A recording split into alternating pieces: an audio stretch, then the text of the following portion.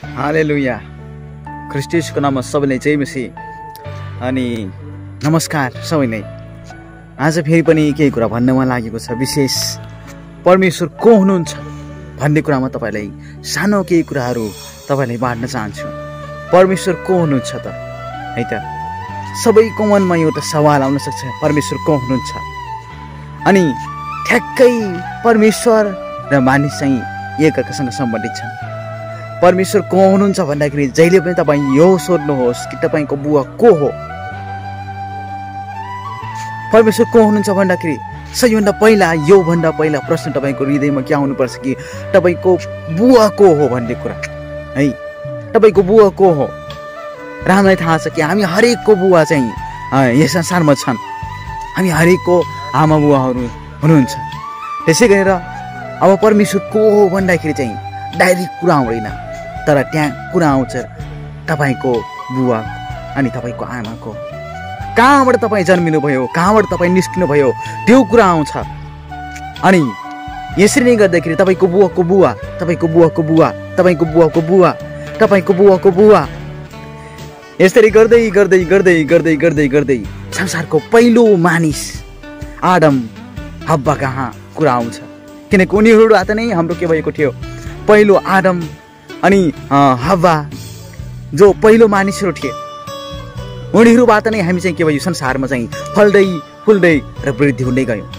अनि त्यसैले सिधै परमेश्वर को हो भन्दाखेरि चाहिँ परमेश्वरले बनाउनु भयो परमेश्वरले सृष्टि गर्नुभयो परमेश्वर सृष्टिकर्ता हुँदा हुनुहुन्छ भन्दाखेरि चाहिँ धेरै मानिसले विश्वास लाग्दैन त्यसैले चाहिँ पहिलो कुरा कहाँ आउँछ तपाईँको बुवाको हो तपाईँको बुवाको बुवाको हो तपाईँको बुवाको बुवाको हो तपाईँको बुवाको बाउको बाउ तपाईँको बाउको पनि बाउ है? यसरी बुवाको बुवा बुवाको बुवा बुवाको बुवा यसरी गर्दै गर्दै गर्दै गर्दै जाँदाखेरि अन्तिममा आउँछ आदम र हब्बा। सबैको संसारमा जति पनि मानिसहरू छन् तिनीहरू सबैको आमा बुवा चाहिँ आदम र हब्बा थिए। र आदम र हब्बाले कसले बनायो? प्रश्न आउँछ अब। राम्रो प्रश्न आउँछ अब यहाँनिर। र यो प्रश्नको राम्रो उत्तर पनि आउँछ कि आदम र हब्बाको बुवा चाहिँ को हुनुहुन्थ्यो? आदम र हब्बाको बुवा चाहिँ अन्तिममा परमेश्वर हुनुहुन्थ्यो भन्ने कुरा हामीले थाहा पाउँछौँ। किनकि आदम र हब्बाले परमेश्वरले उत्पत्तिको पुस्तकमा हामी हेर्ने हो भने परमेश्वरले आदम र हब्बालाई त्यहाँ बनाएको कुरा हामी थाहा पाउँछौँ।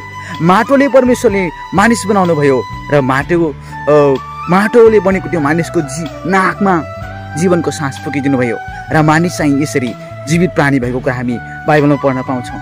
र आदम र हब्बाको बुवा परमेश्वर हो भने अब जुन परमेश्वरले आदम र हब्बालाई बनाउनु भयो अब त्यही परमेश्वरले हामीले बनाउनु भयो। कसरी?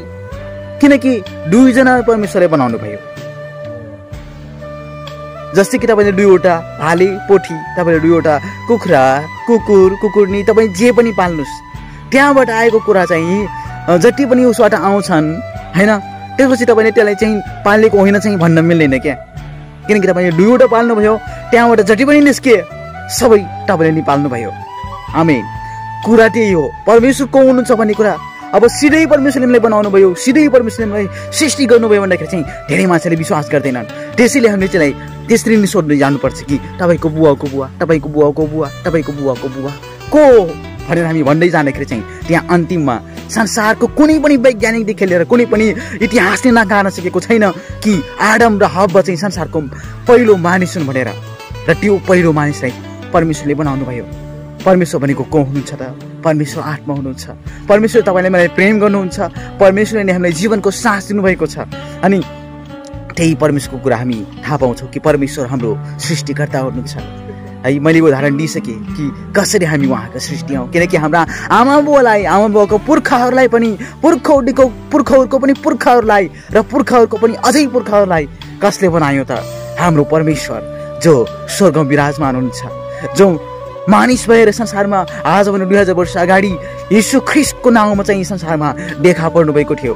उहाँले नै सबै कुरा बनाउनु भयो सृष्टि गर्नुभयो। अब उहाँको नाम के हो भन्दाखेरि चाहिँ बाइबलमा जब हेर्ने हो भने उहाँको नाम चाहिँ जो हुँ म हुँ भन्ने हुन्छ। यसको अर्थ I am who I am who I am जो हुँ म हुँ भन्ने अर्थ चाहिँ यसले दिन्छ।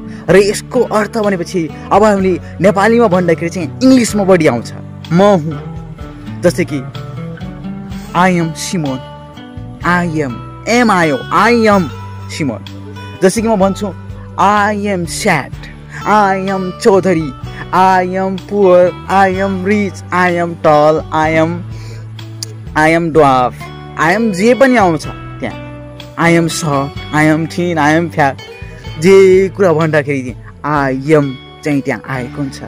र त्यो I am who I am परमेश्वरको नाम I am who I am जब तपाईँ भन्नुहुन्छ म सिमोन हुँ त्यति बेला पनि परमेश्वर तपाईँसँग हुनुहुन्छ। जति बेला तपाईँ भन्नुहुन्छ ए म यो हुँ म ऊ हुँ म चौधरी हुँ म ठा होइन म म राणा हुँ अनि म चौला गाई हुँ म बिसी हुँ म म बाहुन म छेत्री हुँ।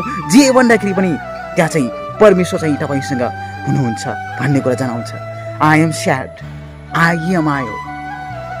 म दुखित छु तर मेरो दुःखमा पनि एम सधैँ मसित छ। परमेश्वर मसित हुनुहुन्छ भन्ने कुरा चाहिँ हामी जान्नुपर्छ। त्यसले हामी हात हाँस्नु हुँदैन। जब जब तपाईँ भन्नुहुन्छ I am sad God is with you because his name is Emmanuel meaning of Emmanuel God with us परमेश्वर हामीसित हुनुहुन्छ। त्यसैले कहिले पनि हताश नहुनुहोस् दुखी नहुनुहोस् किनकि I am who I am भन्ने परमेश्वर तपाईँसँग पनि हुनुहुन्छ। I am rich I am poor तपाईँ जे भन्नुहुन्छ। I am blind I am deaf I am sick जे भन्दाखेरि पनि तपाईँसँग चाहिँ परमेश्वर हुनुहुन्छ। जहिले पनि तपाईँ जानिराख्नुहोस् तपाईँसँग परमेश्वर हुनुहुन्छ। है त त्यसैले उहाँको नाम चाहिँ I am who I am हो। यो त भयो परमेश्वरको छोटो परिचय। केही अझै मनमा लागेको कुराहरू तपाईँलाई लाग्छ भने तपाईँ कमेन्टमा सोध्नुहोस्। है म तपाईँले भन्नेछु र च्यानल मन च्यानललाई सब्सक्राइब गरेर चाहिँ कहिले नबिर्सनु होला हुन्छ? यस्तै भिडियोहरूमा लिएर तपाईँको माझमा आउने नै छु। है त? भिडियोलाई लाइक च्यानललाई सब्सक्राइब प्लस केही सिक्न मिलेको छ भने साथीहरूलाई पनि केही सिकाउन चाहनुहुन्छ भने यो भिडियोलाई सेयर गर्न तपाईँ सक्नुहुन्छ। होस् त आजको लागि यति नै। आउने दिनहरूमा पनि केही भिडियोहरू सानो सानो भिडियोहरू लिएर आउनेछु। केही सानो जानकारीहरू लिएर तबसम्मको लागि सबैलाई जय मसी अनि नमस्कार bye bye everyone thank you so much साथीहरू आजको भिडियोबाट तपाईँले केही सिक्नु भएको छ भने कृपया हामीलाई लाइक च्यानललाई सब्सक्राइब गर्न चाहिँ अनि प्लस बेल आइकनलाई दबाउन चाहिँ र साथै यसले अरू साथीहरू कहाँ सेयर गर्न चाहिँ नबिर्सनु होला